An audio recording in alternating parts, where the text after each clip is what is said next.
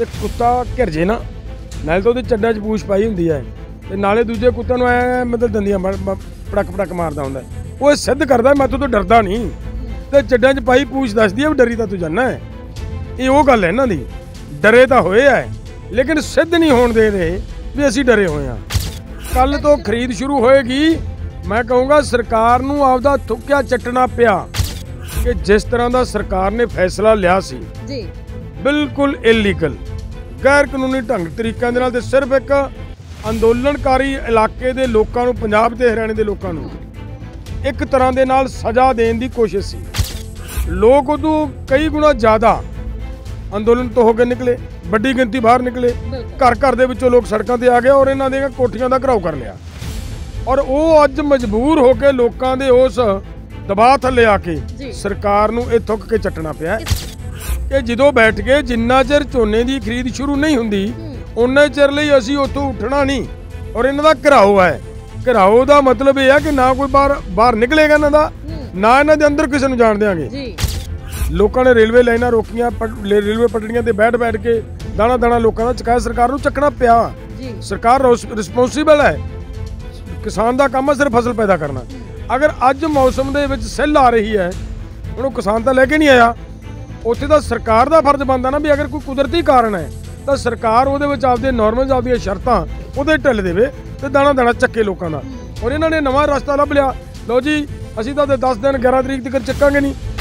ਸਤਿ ਸ਼੍ਰੀ ਅਕਾਲ ਦਰਸ਼ਕੋ, ਤੁਸੀਂ ਦੇਖ ਰਹੇ ਹੋ ਰੋਜ਼ਾਨਾ ਸਪੋਕਸਮੈਨ ਟੀਵੀ ਤੇ ਮੈਂ ਹਰਜੀਤ ਕੌਰ। ਜਿਸ ਹਿਸਾਬ ਨਾਲ ਕਿਸਾਨਾਂ ਦੀ ਖਰੀਦ ਨੂੰ ਲੈ ਕੇ, ਜੋ ਝੋਨੇ ਦੀ ਖਰੀਦ ਨੂੰ ਲੈ ਕੇ ਵਿਵਾਦ ਛਿੜਿਆ ਹੋਇਆ ਸੀ, ਕਿਉਂਕਿ ਸਰਕਾਰ ਸਮੇਂ ਸਿਰ ਖਰੀਦ ਨਹੀਂ ਸ਼ੁਰੂ ਕਰ ਰਹੀ ਸੀ, ਤਾਂ ਕਿਸਾਨਾਂ ਨੇ ਵੀ ਜ਼ਬਰਦਸਤ ਰੋਸ ਜ਼ਾਹਿਰ ਕੀਤਾ ਹੈ ਕਿਸਾਨਾਂ ਨੇ ਐਮਪੀ ਐਮਐਲਏ ਦੇ ਘਰਾਓ ਕਰਕੇ ਉਹਨਾਂ ਨੇ ਮੰਗ ਜਿਹੜੀ ਮਨਵਾ ਲਈ ਗਈ ਹੈ ਜਿਸ ਤੇ ਅਸੀਂ ਅੱਜ ਤੁਹਾਨੂੰ ਪੂਰੀ ਖੁੱਲ ਕੇ ਚਰਚਾ ਵੀ ਦੱਸਾਂਗੇ ਕਿ ਕਿਸ ਤਰ੍ਹਾਂ ਕਿਸਾਨਾਂ ਦੀ ਮੰਗ ਮੰਨੀ ਗਈ ਹੈ, ਕਿਵੇਂ ਸਰਕਾਰ ਝੁਕੀ ਨਜ਼ਰ ਆਈ ਹੈ। ਸਾਡੇ ਨਾਲ ਜਗਜੀਤ ਸਿੰਘ ਡੱਲੇਵਾਲ ਜੀ, ਕਿਸਾਨ ਨੇਤਾ ਮੌਜੂਦਾ ਗੱਲਬਾਤ ਕਰਕੇ ਜਾਣਕਾਰੀ ਲਵਾਂਗੇ ਔਰ ਇਸ ਜਿੱਤ ਨੂੰ ਕਿਵੇਂ ਦੇਖਦੇ ਨੇ ਇਸ ਬਾਰੇ ਵੀ ਜਾਣਕਾਰੀ ਲੈਣੇ। ਸਭ ਤੋਂ ਪਹਿਲਾਂ ਸਵਾਗਤ ਕਰਦੇ ਹਾਂ ਰੋਜ਼ਾਨਾ ਸਤਿ ਸ੍ਰੀ ਅਕਾਲ ਜੀ, ਧੰਨਵਾਦ, ਮਿਹਰਬਾਨੀ।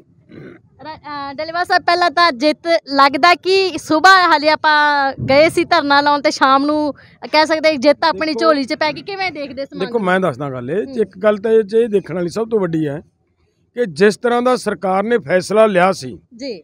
ਬਿਲਕੁਲ ਇਲੀਗਲ ਗੈਰ ਕਾਨੂੰਨੀ ਢੰਗ ਤਰੀਕਿਆਂ ਦੇ ਨਾਲ ਤੇ ਸਿਰਫ ਇੱਕ ਅੰਦੋਲਨਕਾਰੀ ਇਲਾਕੇ ਦੇ ਲੋਕਾਂ ਨੂੰ ਪੰਜਾਬ ਤੇ ਹਰਿਆਣੇ ਦੇ ਲੋਕਾਂ ਨੂੰ ਇੱਕ ਤਰ੍ਹਾਂ ਦੇ ਨਾਲ ਸਜ਼ਾ ਦੇਣ ਦੀ ਕੋਸ਼ਿਸ਼ ਸੀ। ਜੀ। ਲੇਕਿਨ ਇਹਨਾਂ ਨੂੰ ਇਹ ਨਹੀਂ ਸੀ ਪਤਾ ਕਿ ਇਹਨਾਂ ਨੂੰ ਐ ਲੱਗਿਆ ਕਿ ਸ਼ਾਇਦ ਅੱਜ ਝੋਨੇ ਦੀ ਖਰੀਦ ਤੇ ਤੰਗ ਪਰੇਸ਼ਾਨ ਕਰਕੇ ਲੋਕਾਂ ਨੂੰ ਅਸੀਂ ਅੰਦੋਲਨ ਕਮਜ਼ੋਰ ਕਰ ਲਾਂਗੇ। ਜੀ। ਲੋਕ ਉਦੋਂ ਕਈ ਗੁਣਾ ਜ਼ਿਆਦਾ ਅੰਦੋਲਨ ਤੋਂ ਹੋ ਕੇ ਨਿਕਲੇ ਵੱਡੀ ਗਿਣਤੀ ਬਾਹਰ ਨਿਕਲੇ ਘਰ ਘਰ ਦੇ ਵਿੱਚੋਂ ਲੋਕ ਸੜਕਾਂ ਤੇ ਆ ਗਏ ਔਰ ਇਹਨਾਂ ਦੀਆਂ ਕੋਠੀਆਂ ਦਾ ਘਰਾਓ ਕਰ ਲਿਆ।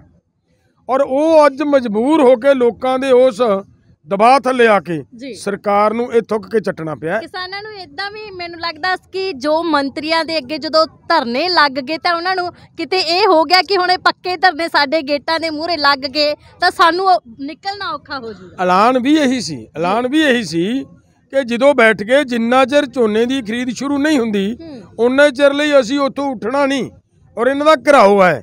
ਘਰਾਓ ਦਾ ਮਤਲਬ ਇਹ ਹੈ ਕਿ ਨਾ ਕੋਈ ਬਾਹਰ ਬਾਹਰ ਨਿਕਲੇਗਾ ਇਹਨਾਂ ਦਾ ਨਾ ਇਹਨਾਂ ਦੇ ਅੰਦਰ ਕਿਸੇ ਨੂੰ ਜਾਣ ਦਿਆਂਗੇ। ਜੀ। ਘਰਾਓ ਦਾ ਇਹ ਮਤਲਬ ਹੁੰਦਾ ਹੈ। ਔਰ ਇਸ ਤੋਂ ਅੱਗੇ ਕਈ ਵਾਰੀ ਆਕਰੋਸ਼ਤ ਹੋਏ ਲੋਕ ਇਹ ਵੀ ਕਰ ਦਿੰਦੇ ਆ ਇਹਨਾਂ ਦੀ ਬਿਜਲੀ ਬੰਦ ਕਰ ਦਿਓ ਇਹਨਾਂ ਦੀ ਲਾਈਟ ਬੰਦ ਕਰ ਦਿਓ।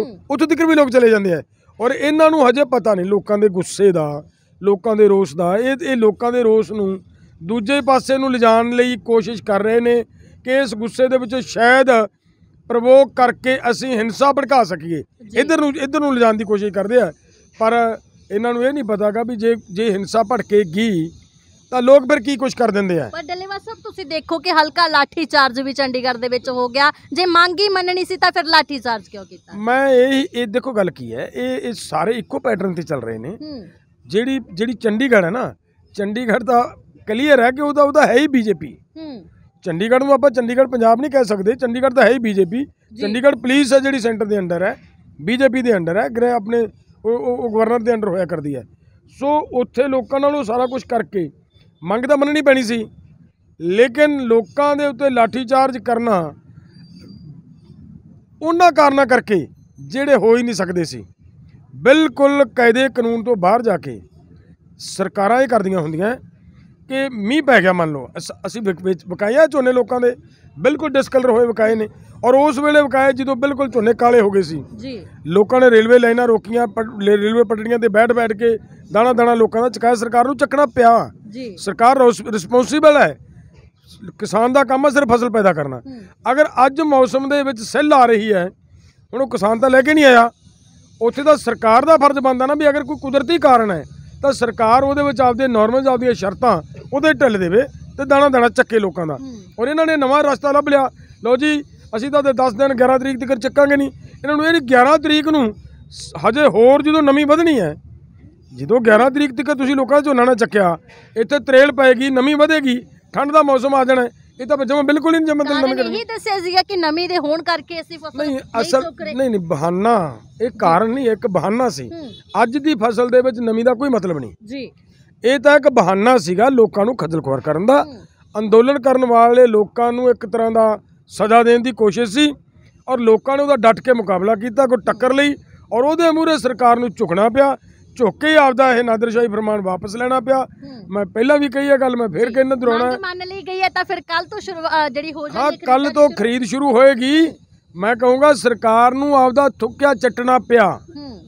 ਕਿੱਡੀ ਘਟੀਆ ਗੱਲ ਆ ਸਰਕਾਰ ਵਾਸਤੇ ਕਿ ਬਿੰਦੇ ਬਿੰਦੇ ਐ ਕਰ ਲਿਆ ਕਰਤਾ ਜੀ ਜਦੋਂ ਲੋਕ ਛਿੱਤਰ ਮਾਰਦੇ ਆ ਫਿਰ ਫਿਰ ਸਿੱਧੇ ਰਾਹ ਤੇ ਤੁਰਦੇ ਆ। ਕੀ ਲੱਗਦਾ ਹੈ ਇਹ ਜਾਣ ਬੁੱਝ ਕੇ ਇਦਾਂ ਤੰਗ ਪਰੇਸ਼ਾਨ ਕਰ ਰਹੇ ਸੀਗੇ? ਬਿਲਕੁਲ ਜਾਣਬੁੱਝ ਕੇ ਸੀਗਾ ਜੀ ਇਹਦੇ ਵਿੱਚ ਕੋਈ ਤੁੱਕ ਹੀ ਨਹੀਂ ਬਣਦੀ ਸੀ ਨਾ।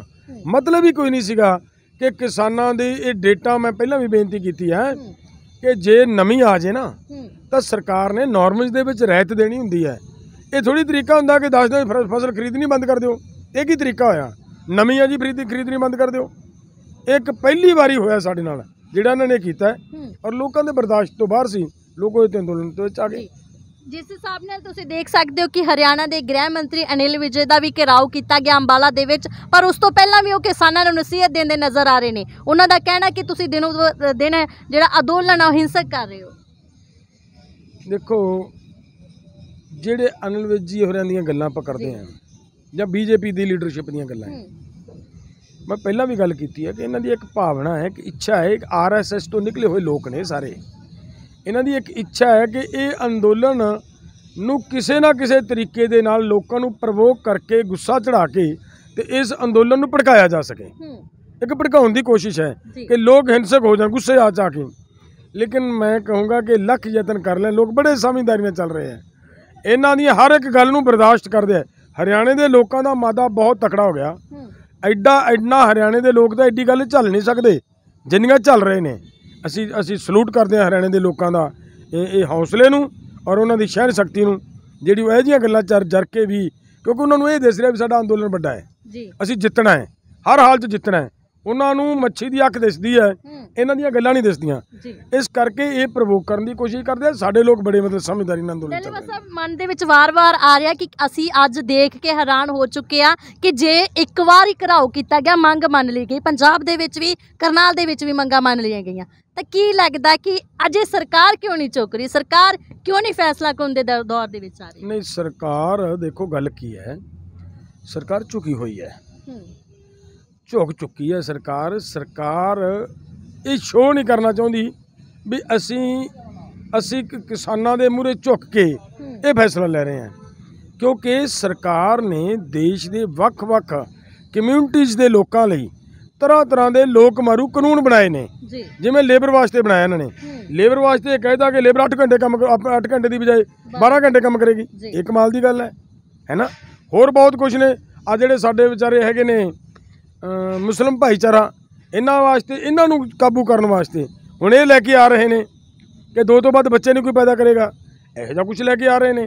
ਤੋ ਸੀਏ ਲੈ ਕੇ ਆਏ ਔਰ ਜਿੰਨਾ ਕੁਝ ਉਹ ਲੈ ਕੇ ਆਏ ਇਹਨਾਂ ਨੂੰ ਐਂ ਲੱਗਦਾ ਹੈ ਕਿ ਅੱਜ ਇਸ ਅੰਦੋਲਨ ਦੇ ਸਾਹਮਣੇ ਜੇ ਅਸੀਂ ਝੁਕ ਗਏ ਜੇ ਕਿਤੇ ਸਾਨੂੰ ਸਾਡਾ ਪਤਾ ਲੱਗ ਗਿਆ ਲੋਕਾਂ ਨੂੰ ਇਹਨਾਂ ਨੇ ਝੁਕ ਕੇ ਫੈਸਲਾ ਕੀਤਾ ਹੈ ਤਾਂ ਫਿਰ ਮੋਦੀ ਜਿਹੜੀ ਇਹਨਾਂ ਦੀ ਕਹਾਵਤ ਸੀ ਕਿ ਅਗਰ ਮੋਦੀ ਹੈ ਤਾਂ ਸਭ ਕੁਝ ਸੰਭਵ ਹੈ। ਉਹ ਗੱਲ ਇਹਨਾਂ ਦੀ ਹੁਣ ਬਣਦੀ ਨਜ਼ਰ ਨਹੀਂ ਆ ਰਹੀ। ਲੋਕ ਇਹਨਾਂ ਨੂੰ ਪਤਾ ਲੱਗ ਗਿਆ ਕਿ ਜਨਤਾ ਵਗਦੇ ਦਰਿਆਵਾਂ ਦੇ ਵਹਾਨ ਨੂੰ ਮੋੜ ਸਕਦੀ ਹੈ। ਔਰ ਉਹ ਮੋੜਿਆ ਖੜਾ ਹੈ ਠੱਲ ਲਾਇਆ ਖੜਾ ਹੈ। ਜੀ। ਔਰ ਮੋੜ ਕੇ ਮੈਂ ਕਿਉਂ ਕਿਹਾ ਹੈ ਕਿ ਜਿੱਥੇ ਇਹਨਾਂ ਦੀ ਲੋਕਪ੍ਰਿਯਤਾ 66% ਸੀ ਘਟਾ ਕੇ ਅਸੀਂ 22% ਤੇ ਲੈ ਆਏ ਹਾਂ ਹੂੰ। ਉਹ ਇੱਕ ਤਰ੍ਹਾਂ ਦਾ ਇਹਨਾਂ ਦੇ ਹੜ ਨੂੰ ਰੋਕਿਆ ਹੈ। ਰੋਕਿਆ ਨਹੀਂ ਇਕੱਲਾ ਮੋੜ ਉਹਨੂੰ ਮੁੜਾ ਦਿੱਤਾ ਹੈ। ਦੂਜੀ ਦਿਸ਼ਾ ਵੱਲ ਕੀਤਾ ਹੈ। ਤੋਂ ਇਸ ਕਰਕੇ ਇਹ ਸੋਚਦੇ ਨੇ ਕਿ ਜੇਕਰ ਅਸੀਂ ਝੁੱਕ ਕੇ ਫੈਸਲਾ ਕਰ ਲਿਆ ਤਾਂ ਸਾਡੇ ਅਸੀਂ ਝੁਕੇ ਨਜ਼ਰ ਆ ਗਏ। ਤਾਂ ਫਿਰ ਮਤਲਬ ਦੂਸਰੀਆਂ ਵੀ ਦੂਸਰੇ ਮਾਮ- ਮਾਮਲੇ ਵੀ ਉੱਠਣਗੇ। ਇਸ ਕਰਕੇ ਉਹ ਕੋਈ ਰਸਤਾ ਲੱਭਦੇ ਨੇ ਵਿੱਚ ਵਿਚਾਲੇ ਦਾ ਜਿਹਦੇ ਨਾਲ ਇਹ ਫੈਸਲਾ ਹੋਵੇ ਤੇ ਨਾਲ ਹੀ ਇਹ ਵੀ ਕਿਹਾ ਜਾ ਰਿਹਾ ਹੈਗਾ ਕਿ ਐਮਐਸਪੀ ਦੀ ਜਿਹੜੀ ਗੱਲ ਕਰ ਰਹੇ ਹਾਂ ਕਿ ਜਿੰਨੀ ਐਮਐਸਪੀ ਨਿਕਲੀ ਸ਼ਾਇਦ ਉਹਦੇ ਤੇ ਵੀ ਨਾ ਕਿਸਾਨਾਂ ਨੂੰ ਭਾਅ ਮਿਲੇ। ਦੇਖੋ ਮੈਂ ਦੱਸਦਾ ਜੀ ਇਹ ਸਰਕਾਰ ਦੀ ਮੈਂ ਤੇ ਜਿਸ ਦਿਨ ਦੇ ਪੋਰਟਲ ਦੇ ਉੱਤੇ ਲੋਕਾਂ ਦੀਆਂ ਮਤਲਬ ਜਮਾਬੰਦੀਆਂ ਚੜਾਉਂਦੀਆਂ ਗੱਲਾਂ ਕੀਤੀਆਂ ਗਈਆਂ ਹੈ। ਮੈਂ ਉਸ ਦਿਨ ਆਹ ਗੱਲ ਕਹੀ ਸੀ ਜਿਹੜੀ ਤੁਸੀਂ ਅੱਜ ਕੀਤੀ ਹੈ ਜੀ। ਮੈਂ ਉਸ ਦਿਨ ਕਿਹਾ ਸੀ ਵੀ ਇੱਕ ਦਿਨ ਇਹ ਕਹਿਣਗੇ ਕਿ ਇੰਨੇ ਕੁਇੰਟਲ ਐਵਰੇਜ ਆ ਜੀ ਉਨੀ ਉਨੀ ਖਰੀਦਾਂਗੇ। ਜੀ।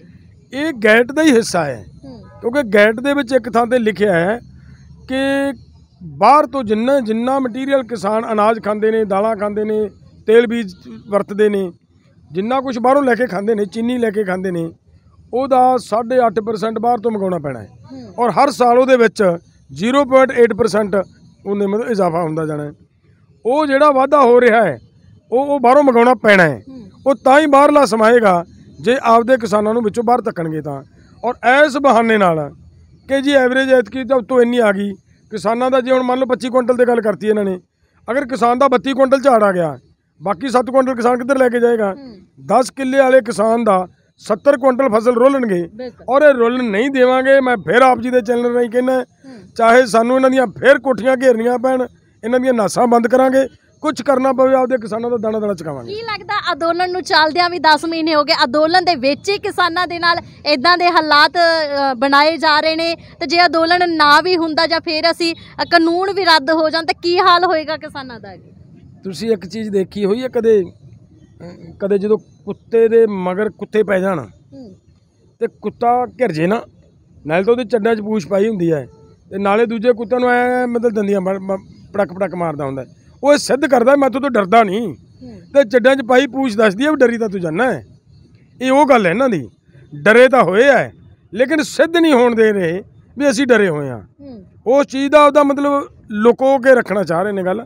ਹੋਰ ਕੋਈ ਗੱਲ ਨਹੀਂ ਗੀ ਇਹਨਾਂ ਨੂੰ ਦੇਖੋਗੇ ਤੁਸੀਂ ਆਉਣ ਵਾਲੇ ਦਿਨਾਂ ਦੇ ਵਿੱਚ ਇੱਥੇ ਵੀ ਮਤਲਬ ਮੂੰਹ ਦੀ ਖਾਣੀ ਪੈਣੀ ਹੈ ਨਾਲੇ ਛਿੱਤਰ ਖਾਦੇ ਆ ਨਾਲੇ ਗੰਢੇ ਖਾਣੇ ਪੈਣੇ। ਕਿਸਾਨਾਂ ਦੇ ਕਹਿ ਸਕਦੇ ਆ ਕਿ ਚਿਹਰਿਆਂ ਤੇ ਖੁਸ਼ੀ ਦੀ ਇੱਕ ਕਿਰਨ ਨਜ਼ਰ ਆ ਰਹੀ ਹੈ ਤੁਹਾਨੂੰ? ਦੇਖੋ ਅਸੀਂ ਭਾਵੇਂ ਇੱਕ ਚੱਲਦੇ ਚੱਲਦੇ ਇੱਕ ਨਾ ਅੰਦੋਲਨ ਦੇ ਚੱਲਦਿਆਂ ਚੱਲਦਿਆਂ ਜਦੋਂ ਪੈਰ ਚਰੋੜੀ ਪੈ ਚੁੱਭਣ ਲੱਗ ਜੇ ਨਾ ਕੋਈ ਜੁੱਤੀ ਚਰੋੜੀ ਪੈ ਜੇ ਉਹ ਕੱਢਣੀ ਪੈਂਦੀ ਹੈ ਪੈਰ 'ਚ ਕੰਡਾ ਚੁੱਭ ਜੇ ਕੱਢਣਾ ਪੈਂਦਾ ਇਹ ਇੱਕ ਕੰਡੇ ਦੇ ਸਮਾਨ ਸੀ ਇਹ ਅੰਦੋਲਨ ਸਾਡਾ ਕਿਉਂਕਿ ਵਿੱਚ ਦੀ ਸਾਡੇ ਕਿਸਾਨਾਂ ਨੂੰ ਮੁਸ਼ਕਲ ਆਈ ਸਾਡੀ ਡਿਊਟੀ ਬਣਦੀ ਸੀ।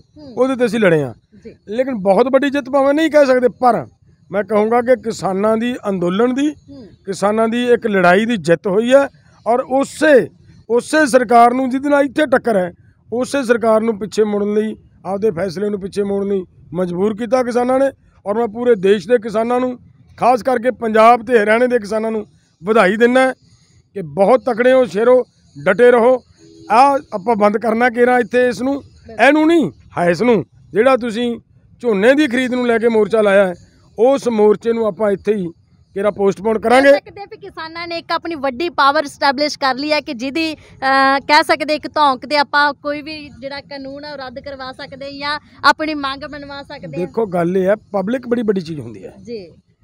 ਜਿਹਨੂੰ ਕਿਹਾ ਜਾਂਦਾ ਹੈ ਕਿ ਜਨਤਾ ਜਨਾਰਦਨ ਹੈ। ਹੂੰ। ਪਬਲਿਕ ਬੜੀ ਵੱਡੀ ਚੀਜ਼ ਹੁੰਦੀ ਹੈ ਪਬਲਿਕ ਦੇ ਮੂਹਰੇ ਕਦੇ ਵੀ ਕੋਈ ਸਰਕਾਰ ਅੱਜ ਤੱਕ ਖੜ ਨਹੀਂ ਸਕੀ।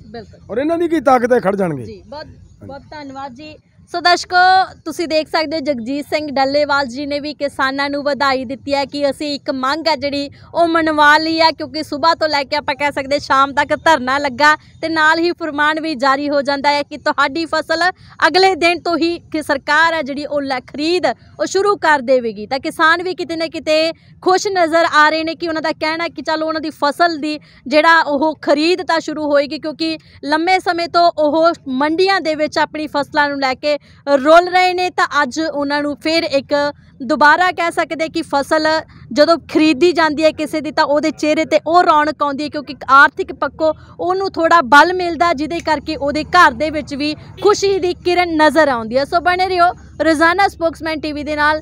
ਇਦਾਂ ਦੀਆਂ ਸ਼ਖਸੀਅਤਾਂ ਤੁਹਾਡੇ ਰੂਬਰੂ ਕਰਵਾਉਂਦੇ ਰਾਂਗੇ ਤਦ ਤੱਕ ਲਈ ਇਜਾਜ਼ਤ ਦਿਓ। ਕੈਮਰਾਮੈਨ ਜੰਗਵੀਰ ਦੇ ਨਾਮ ਹੈ ਹਰਜੀਤ ਕੌਰ, ਸਿੰਘ ਉਬਾਡਰ, ਦਿੱਲੀ।